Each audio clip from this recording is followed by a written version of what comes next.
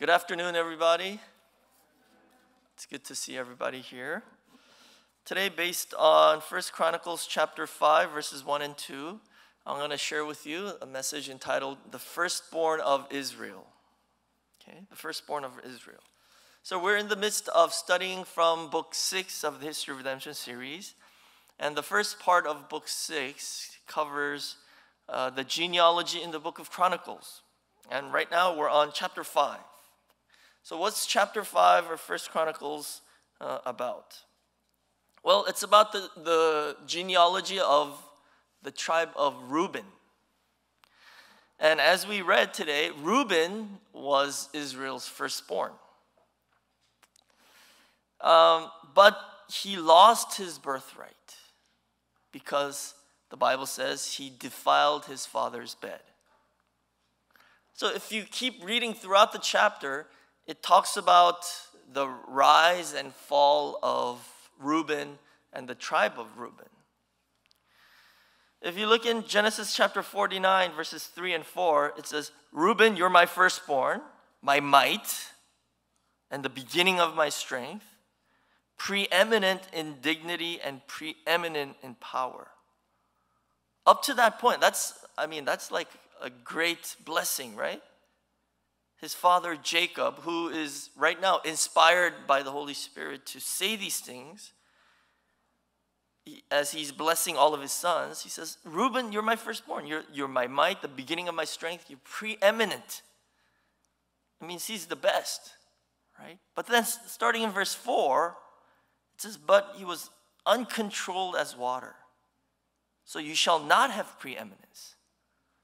See, he was born with preeminence but because he couldn't control his, himself, he lost his preeminence because you went up to your father's bed and you defiled it. So he was given the blessing of the firstborn, but he lost it because he couldn't control himself. So the firstborn is the beginning of the father's strength and power and might. And that's who Reuben was. Reuben was born with all these things, but he threw it all away, right? So if you keep reading in First Chronicles chapter 5, uh, it shows how Reuben succeeded at, at, one point in time. For example, in First Chronicles chapter 5, verse 20, it says, this is talking about the tribe of Reuben. They were helped against them, and the Hagrites and all who were with them were given into their hand. So Reuben, the tribe of Reuben, went to conquer the land that God permitted for them. Uh, the, a people called the Hagrites were living there. They were mighty people, but when Reuben went and fought against them, they, he was able to win. Why? Because it says they cried out to God in the battle, and he answered their prayers because they trusted in him. See? They trusted in God, so they were able to have victory. See, this is what we need to understand. The source of all of our strength and power, abilities, is God Himself. When we trust in Him, all those things that He has given to us will come out, we'll be able to use that. But when we do not trust in God and trust in ourselves, that preeminence, the strength, will disappear. So at first, Reuben, the tribe of Reuben was like this. They trusted in God, they were victorious, but this didn't last long. After a while, they didn't do that, right? So in verse 25, five verses later, it says, But they acted treacherously against God, against the God of their fathers, and played the harlot, right? It means he committed adultery against God. Played the harlots after the gods of the peoples of the land, whom God had destroyed before them. Now think about this. They just beat these people because God helped them they were able to drive them out. So if you beat them, why would you accept their gods and worship their gods? It, it, doesn't make sense, right? I don't understand why they would do this, but this is how people are.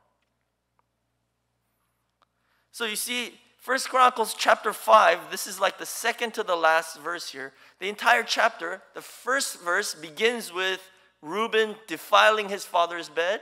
So first verse begins with Reuben's physical adultery.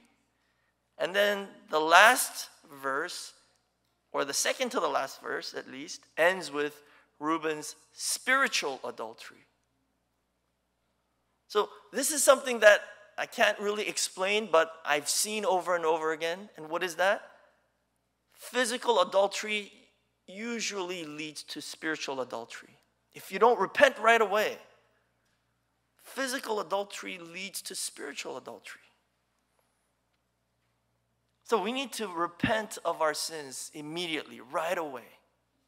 Because sin begets more sin and more serious sin, stronger sin. That's what we see in the life of Reuben and the tribe of Reuben. So, today I want to talk about the, the firstborn of Israel. What is a firstborn? What is a firstborn? Who can become a firstborn? All right? So, number one, what is a firstborn?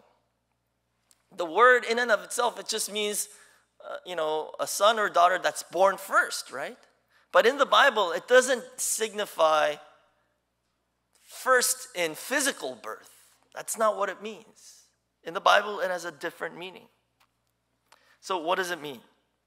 Well, the firstborn is the son that will continue the father's work.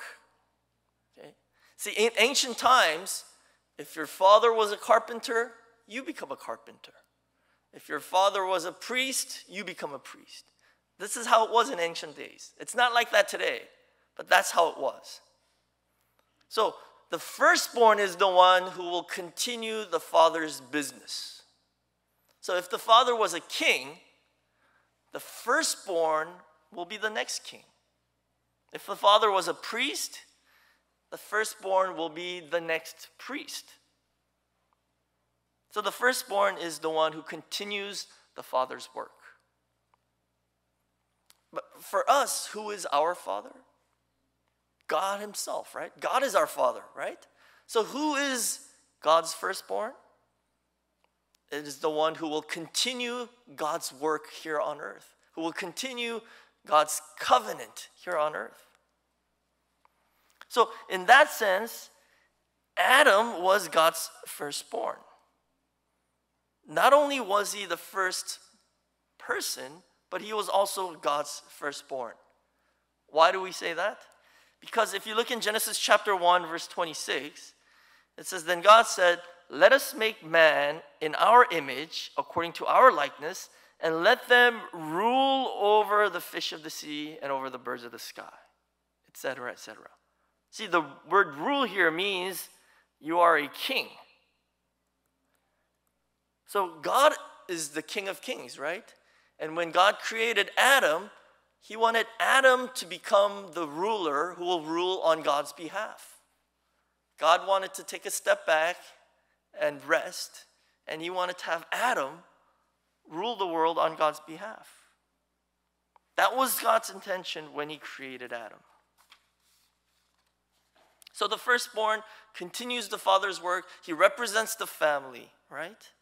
But what happened to Adam? The serpent came and deceived him and spiritually killed him, right? So, in essence, Satan killed God's firstborn, spiritually speaking.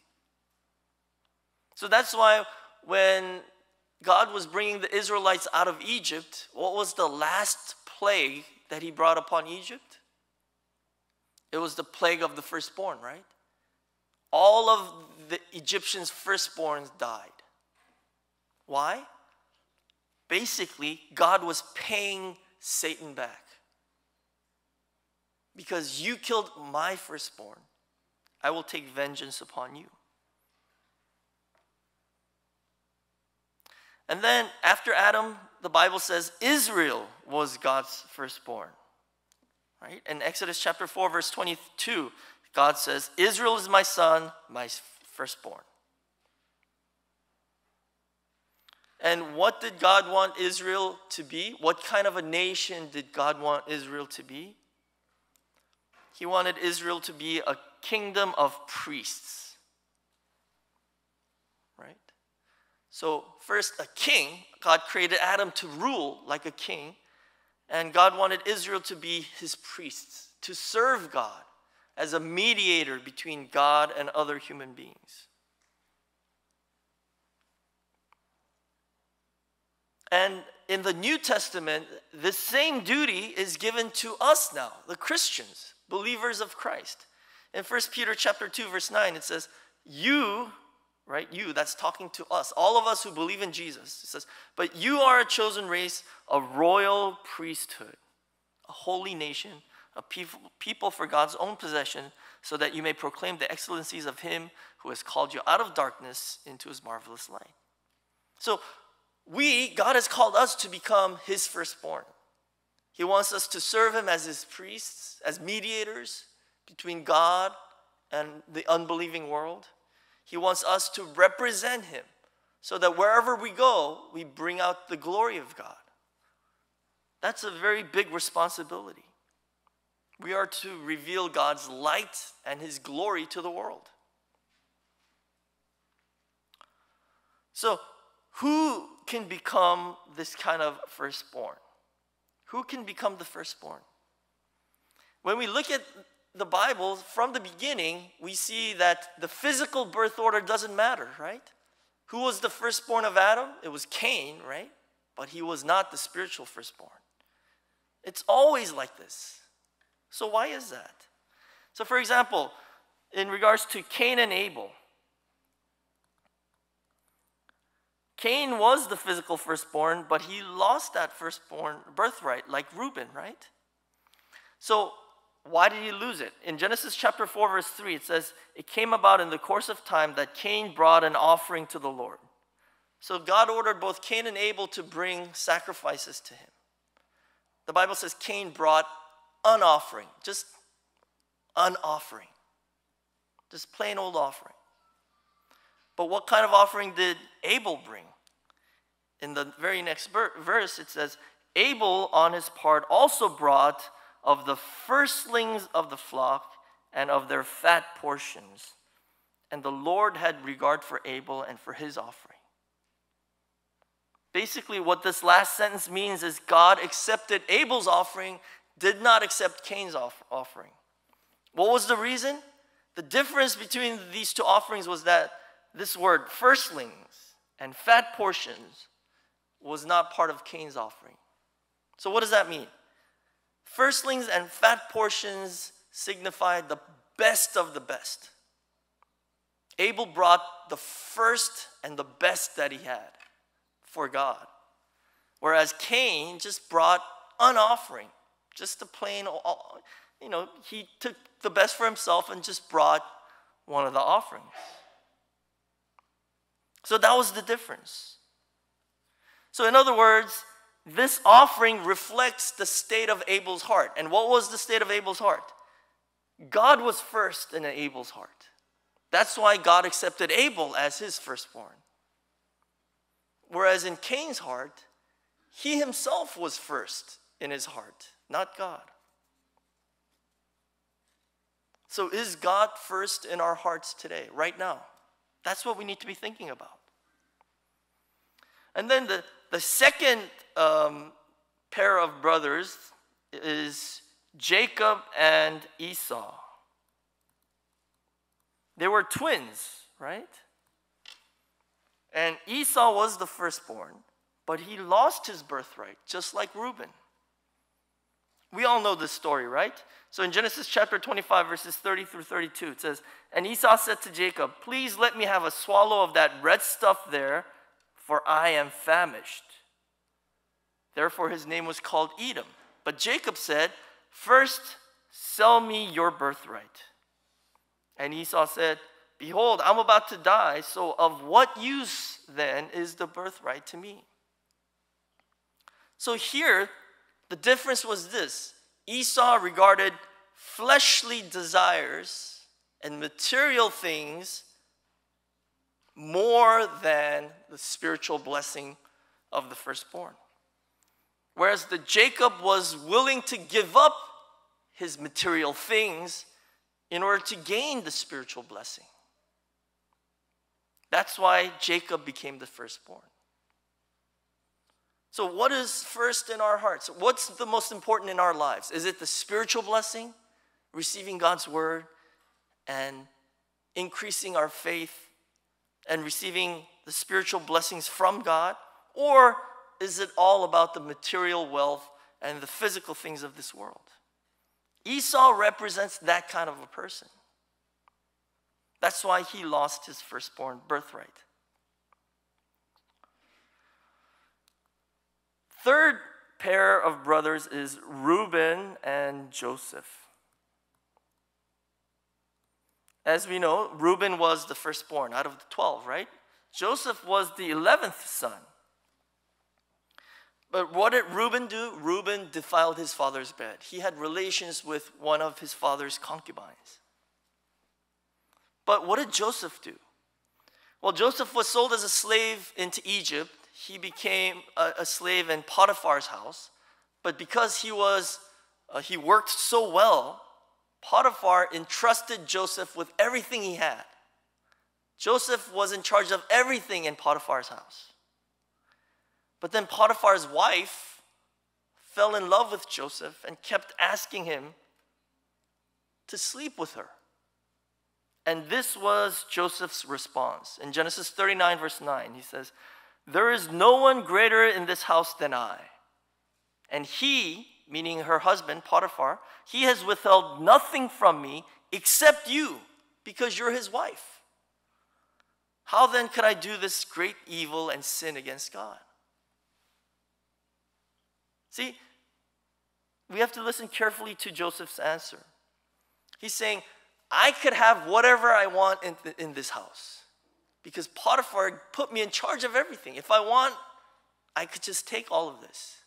And he wouldn't say anything except for one thing that is the wife, you. So, how can I sin against Potiphar? He should have said that, right? But he didn't. He said, How then could I do this great evil and sin against God? See, Joseph was living before God at every moment of his life. He believed that God was watching him at every moment of his life. So he was living in front of God. So Reuben could not control his fleshly desires and lusts, whereas Joseph was able to let go of his desires to do the will of God. So if you look at all three of these examples, it's about the choice you make. What choice are you going to make? That determines if you're a firstborn or not. Is it going to be my belly like Esau? Or will it be the spiritual blessings that God has in store? Or is it going to be my fleshly desires like Reuben? Or will it be like Joseph to not sin before God? So the Bible says Reuben defiled his father's bed. Father's bed symbolizes his authority. So Reuben basically challenged his father's authority. And this is basically like, if you look at Joseph's story, this is basically the same choice that God gave to Adam regarding the tree of life and the tree of the knowledge of good and evil. What did God say to Adam? He said, You could have any tree in the garden you want. You could eat from it wherever, whenever you want, except for the tree of the knowledge of good and evil. It's the same wording, right? Joseph had control over anything in the house except for Potiphar's wife.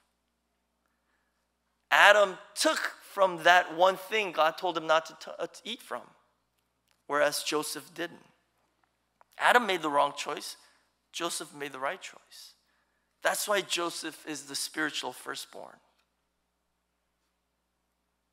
So, today then, how can we recover the blessing of the firstborn? Because we're all Adam's descendants. We lost that because Adam fell. Now, how can we recover that firstborn blessing? There are two ways to do this one is an external way, and then the second is an internal way. Okay? So the first way is out in the world, externally, what we do out in the world. Second is internally, what we do in our hearts. So let's look at the example of two twins that appear in the Bible. The first twin is Jacob and Esau, right? Jacob and Esau were twins. They were fighting within the womb of their mother, right? In Genesis 25, verse 22, it says, The children struggled together within her. And she said, If it is so, why then am I this way? So she went to inquire of the Lord, right? So Jacob and Esau were fighting inside the womb before they were even born. They were fighting to see who would come out first. But what happened? Esau came out first, right? So Esau came out, and then afterward, his brother Jacob came forth with his hand holding on to Esau's heel. See, this is how we can know that that's what they were fighting for. Jacob wanted to come out first, so he was holding on to his heel. heel. So, because Jacob lost that battle in the womb, now he has to fight that battle out in the world. Okay? He has to now fight to regain that firstborn right out in the world. So, because Adam lost to the serpent, now the serpent is the firstborn of this world. Satan is the firstborn of this world. He has control over this world. So in Romans chapter 6, verse 16, it says, Do you not know that when you present yourselves to someone as slaves for obedience, you are slaves of the one whom you obey, either of sin resulting in death or of obedience resulting in righteousness.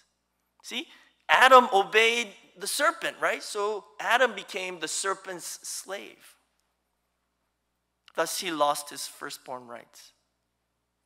That's why we need to fight out here in the world, battle, and struggle to regain that firstborn right. So, how do we do that? The way to do that is to obey God even in the face of trials and persecutions, just like Joseph. The Bible says, everybody who desires to live godly in Christ Jesus will be persecuted. So, all true believers will have trials and tribulations and persecutions in this world. And even in the midst of such hardships, we have to obey God. Because these trials and tribulations are what enables our hearts to be changed and conformed to the image of Christ. So, what we need to do is obey God by humbling ourselves before God. What did Jesus do here on earth? Jesus said even he had trials and persecutions and hardships. And what did he do? he humbled himself even more and he became a servant. So in John 16, verse 33, he says, These things I have spoken to you, so that in me you may have peace. In the world you have tribulation, but take courage. I have overcome the world. See, Jesus has overcome the world. So we need to follow in his example, right? And his example is this. In Mark 9:35, he says, Sitting down, he called the twelve and said to them, If anyone wants to be first, he shall be last of all and servant of all. See, if you want to be the firstborn, then like Jesus, we need to become the servant. We need to humble ourselves. That's the way to recovering the firstborn rights here in the world. But what about now internally? What do we need to do? The second pair of twins that I'm going to talk about is Perez and Zerah. Who are Perez and Zerah? They are the twins that Judah had with Tamar, right? Remember the story? Tamar was actually Judah's daughter in law, but they had relations and she had twins. Their names were Perez and Zerah. Now, in Genesis chapter 38, verses 27 through 30, it says that it came about at the time she was giving birth that behold, there were twins in her womb.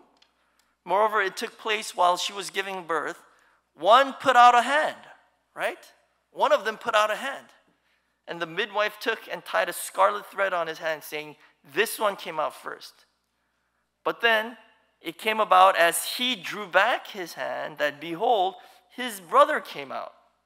Then she said, What a breach you have made for yourself. So he, named, he was named Perez. Afterward, his brother came out, who had the scarlet thread on his hand, and he was named Zerah. So these two were again fighting in the womb to see who would come out first. Zerah almost came out first, but what happened? It got turned around, right? And Perez came out first. And Perez is the rightful firstborn. So his name was included in Jesus' genealogy. So in this case, it was different from Jacob's case. Whereas Jacob lost, so he had to fight to regain that birthright out in the world. But in this case, Perez won inside the womb. So he came out first, as God had desired. So, what does this mean for us? Why, why do we need to know this? Why does this have any significance for us today? This is showing us the internal struggle that all of us are going through right now as descendants of Adam. When Adam fell, the order that God has established in the world got overturned. And what was the order? Human beings are made of spirit, soul, and body the order that God had said was that our spirit will receive the Spirit of God. And through the Spirit of God, we will rule over our soul, and the soul will rule over our bodies. This was the order that God established at the beginning. Our spirit, with the Spirit of God, rules over the soul and over the body so that our body, we live our lives led by the Spirit of God. That's the order. But when Adam fell and he sinned, that order got overturned. So that m- most of the time it is our body that is in control. The Spirit is the firstborn, the body is not. The Spirit shall be ruling, but as fallen sinners, the body is ruling in us, the flesh is ruling in us. That's the fallen nature of mankind. This is what we need to overturn internally within ourselves. So, Apostle Paul said in Romans chapter 7, verse 22 and 23, he says, For I joyfully concur with the law of God in the inner man, right? The inner man wants to do God's will, but I see a different law in the members of my body, waging war against the law of my mind and making me a prisoner of the law of sin, which is in my members, right? The body. So Paul says, I don't do the things that I want to do. I want to do God's will, but I don't do it because of my body, my flesh, the sin that is in it. So he's constantly struggling with himself, within himself to do God's will. That's the battle, the internal battle of the firstborn in all of us. This is the battle that we need to win. Then we could reveal God's glory out in the world. And how do we do that? As Paul said, and as I said this morning, we need to discipline our bodies with the Word of God and with the help of the Spirit of God. So, who are the true firstborns? They are the ones that are led by the Spirit of God, who live according to the Spirit of God. In Romans chapter 8, verse 13, it says, If you are living according to the flesh, you must die. But if by the Spirit you are putting to death the deeds of the body, you will live. See how ironic this is? If you put to death the deeds of the body, then you will truly come alive. That's what life of faith is all about. That's why we're here, trying to put to death the deeds of the body so that our souls can come alive. So in Romans 8:14 it says, "For all who are being led by the Spirit of God, these are the sons of God." Those are the firstborns. Are we being led by the Spirit of God today? Or are we being led by the desires of the flesh? That determines whether you're a firstborn son of God or not. So it is my prayer that through the word and through prayer that we are able to discipline our bodies, put it into submission so that the spirit of God could rule over our lives, that our lives may be led by the spirit of God, that we obey and do the will of God, And by so doing, may we all receive the blessing of the firstborn in every aspect of our lives. Amen? Let us pray. Dear Heavenly Father, we thank you so much for your grace, and we thank you for the word that you have given to us today. As we have learned, we need your help to truly, truly live a life that is led by the Spirit of God. Father God, help us to put to death the deeds of our bodies through your word, through your spirit, and through prayer. Because we know that this struggle is too great for us. Many times we have failed. We cannot do this on our own. So at this time, we humbly seek your grace and your help in this battle. When the tribe of Reuben cried out to God and trusted in God, they were victorious. So I pray that you will enable all of our members of Evergreen Church to have that humble attitude, to cry out to you, to seek your help.